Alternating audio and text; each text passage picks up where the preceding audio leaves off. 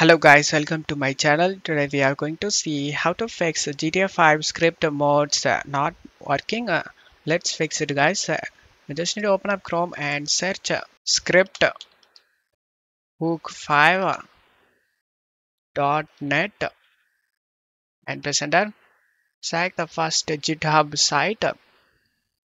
Select this nightly builds uh, and select this uh, zip file and download the script hook v.net.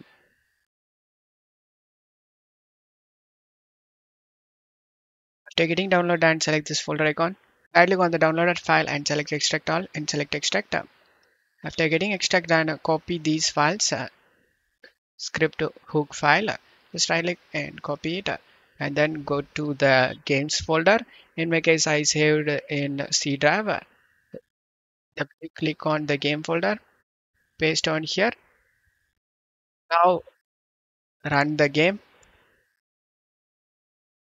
This should fix your problem guys. Don't forget to leave a like guys. Thank you